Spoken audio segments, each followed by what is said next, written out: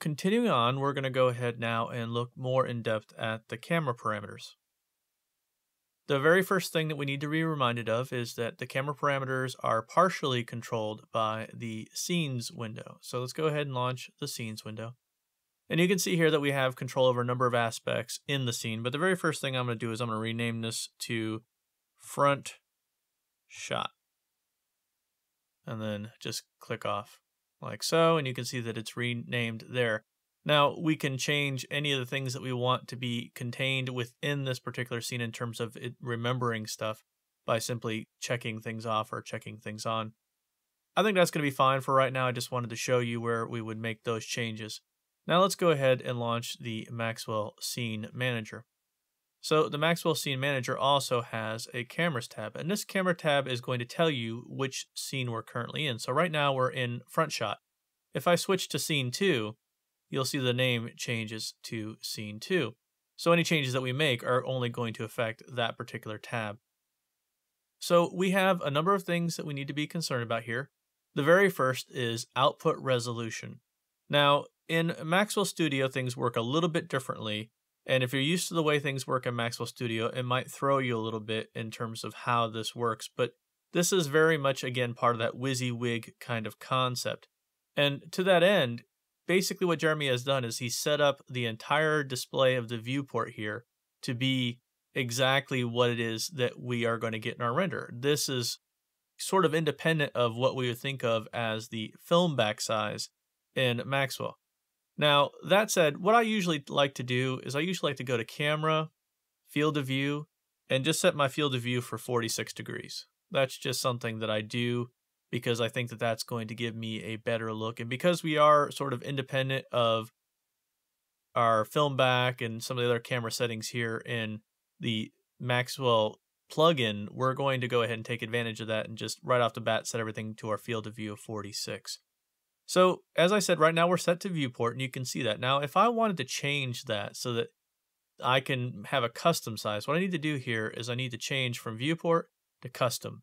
And now what I can do is I can click on this little show aspect ratio in viewport. And when I do that and I change this guy from locked to unlocked, I can begin to make modifications. And when I make those modifications, what happens is we get these gray bars that are going to show us what's actually going to render. Everything outside of those gray bars will not render.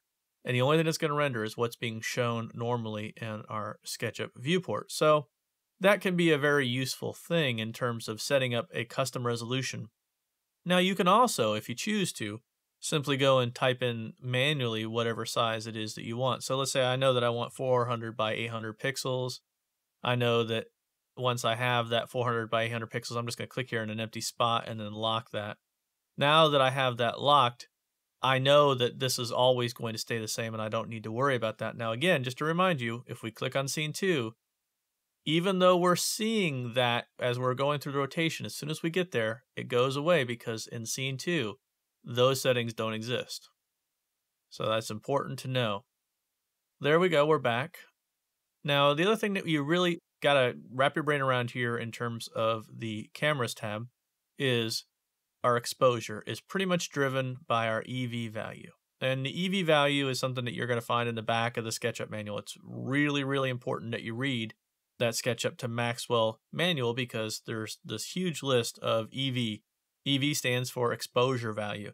And there's different EVs for different lighting scenarios. So for instance, I know that for most of this demo, we're going to be working in an indoors lighting scenario. So I'm going to set it for something really low, like say six. It could go as high as eight, depends on what you want. And I'm just going to click off here in this empty spot to set that up. Now what happens is when I do that, the shutter speed, the ISO, they all adjust to whatever the EV is demanding. Now if I turn off the lock exposure, you notice that the EV is grayed out and now I can change these independently. So if you're more comfortable changing these independently, if you have a traditional camera background, then you may like that. Personally, I think the EV is the way to go, and that would be my recommendation for you. Now, underneath that, we have the Show Advanced view. We have our diaphragm.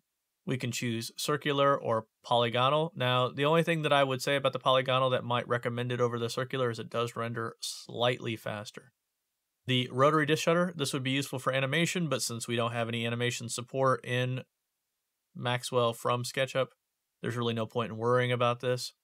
The Z-clip planes, we don't really have a visual representation of this in SketchUp. You have to go to Studio to see it, so it really isn't all that important to see. And finally, shift lens. And shift lens, again, is not something that we have a visual representation of in SketchUp. So we don't really need to worry about that. And by and large, this is reproduced, by the way, the shift lens effect is reproduced by going to camera and setting it to two point perspective. And when you do that, you are now in something that is very much like a shift lens because that's what shift lens does. It allows you to go into something that's basically a two point perspective and then do whatever you need to do in terms of positioning the camera to get the composition you want in case you're looking for something that looks like an illustration, a traditional architectural type illustration.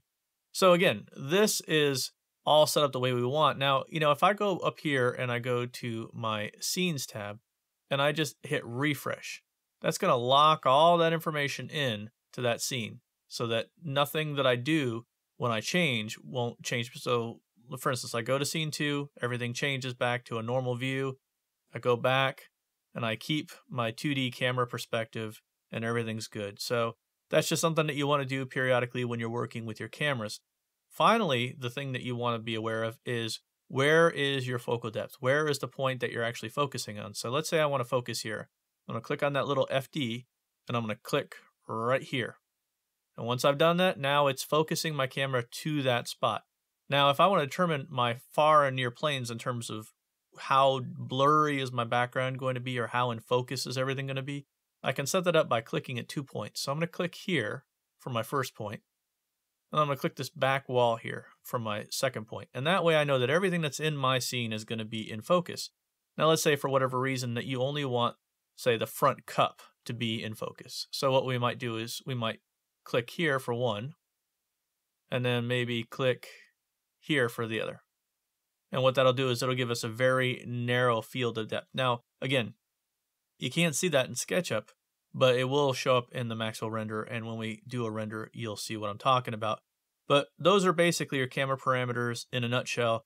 And again, a lot of those are very closely tied to the Maxwell main features. So if you are familiar with the way cameras work in studio, then a lot of this will make sense to you. And I highly recommend that you read the manual or watch my training videos on Maxwell Studio because it will help you immensely at understanding when and where you need to go to studio to achieve a particular effect.